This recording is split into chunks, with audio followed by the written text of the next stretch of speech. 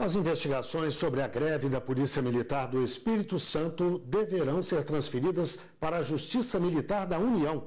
O pedido foi feito pelo Procurador-Geral da República, Rodrigo Janot.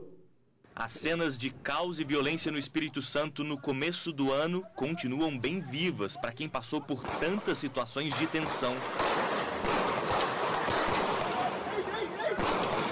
Saques em várias lojas, roubos e tiros à luz do dia Nada impediu as ações criminosas.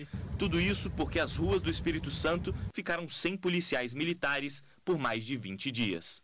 O resultado: mais de 150 mortes e um prejuízo de 180 milhões de reais em furtos. Uma investigação da Justiça Militar do Espírito Santo apura a greve dos policiais militares do Estado.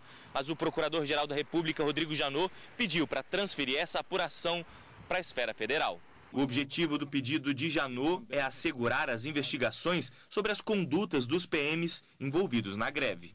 É garantir a responsabilização criminal dos policiais militares, em especial daqueles que teriam condições e força por sua posição hierárquica na corporação para fazer cessar o movimento de paralisação, mas foram omissos.